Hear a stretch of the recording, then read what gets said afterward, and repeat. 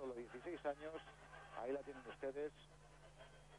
Yo creo que no sé si está preparada para asumir tanta responsabilidad como la que le han dado esta tarde al no clasificarse por la mañana, al fracasar por la mañana y al tener que nadar por la tarde en lugar de una compañera suya.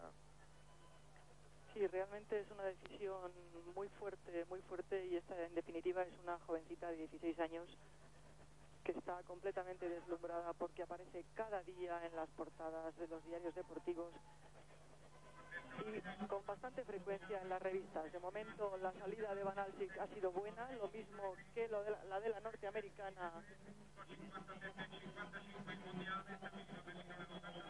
Nicole Haslet y Christine Techer. Lubin tampoco está perdiendo sus oportunidades. Ahí está el giro de los 50 metros. Francisca Van Alsik en primer lugar, 27-21. Segunda plaza para la China Lubin, la mujer que ayer ya consiguiera la medalla de plata en los 100 libres y el oro en la prueba de relevos 4 por 200 Esta es la nadadora china y en la parte inferior la alemana. 100 metros ya de esta final. 56-52. Se está nadando rapidísimo.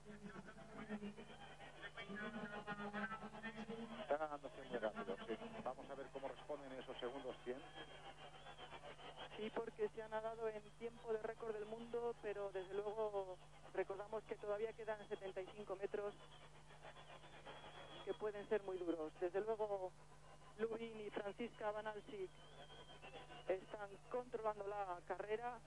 Último viraje. En el centro, la representante de China. Y en la parte inferior, Francisca Van Alsik.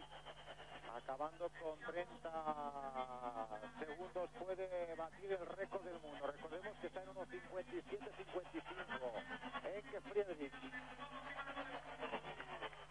Está llegando muy bien la alemana. Últimos instantes. 1.56.78, récord del mundo para Francisca Palancic, muchacha por lo menos esta tarde. 1.56.78, la primera medalla de oro para Alemania. Las dos. Y la China también ha estado por debajo del récord del mundo. Ya es oficial. Van Amsik, 16 años, récord del mundo, 1.56.78, rompiendo la, bandera, la barrera del 1.57. Coraje ha tenido esta mujer, qué coraje. Digamos que se la ha jugado al, conse al, conseguir que una compañera suya le cediese el puesto y desde luego el premio no para de celebrarlo en la piscina Francisca.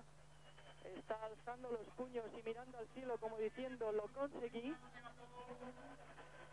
La segunda, la medalla de plata para la China, Bin Lu con unos 56.89, también por debajo, también por debajo del récord mundial anterior. Ahí está la alemana y tercera la costarricense Claudia Pohl, 1.57.60.